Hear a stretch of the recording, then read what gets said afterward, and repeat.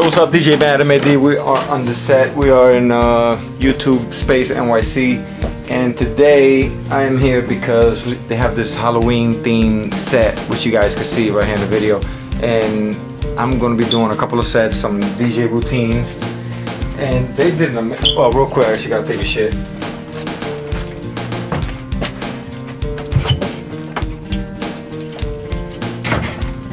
Yeah, you can see, they have all types of stuff. Anyway, uh, so they did an amazing job on this thing. It's like uh, it's a real cabin. Uh, if you guys ever seen that movie Cabin in the Woods, well, that's what they did over here. And I want to do a DJ, a couple of DJ routines on this amazing set. Um, courtesy of YouTube Space. Guys, thank you very much for allowing us to be here and this is going to be the setup.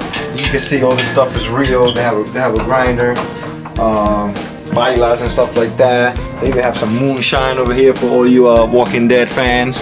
Um, they have a fridge over here, but they have no beer or anything because it's been out of stock, out of stock for I mean not out of stock, out of not been functioning for quite some time.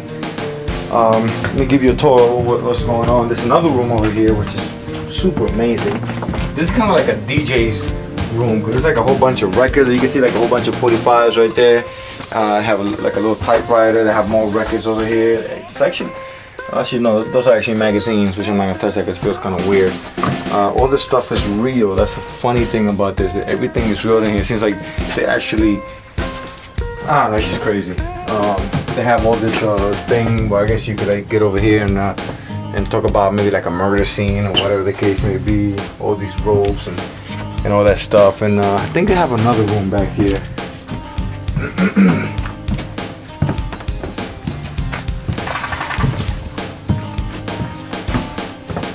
This this is a I really like this room. This is like a torture chamber type of room. And they actually have an actual mattress where you can uh, I guess you can get tied up and stuff and you know, you're like, ah, oh my god, don't come kill me, oh, whatever, you know, something like that. I don't know. And they got like all these props. Oh, I guess you can't pick them up because they're like glued there. I guess they thought like, you know, they don't want nobody chopping somebody for real, like for their video. But um, this is really, really cool. Everything's real. Like, you can hang somebody by their throat right there. And that's kind of dope. And uh, that's what we're doing. So uh, we're getting things ready.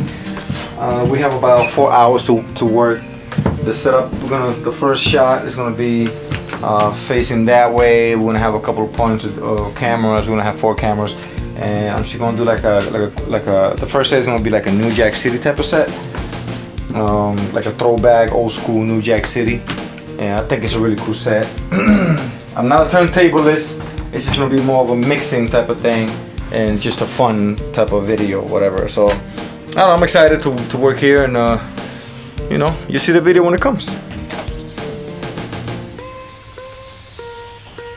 Una pela, bro. To be here all the hours.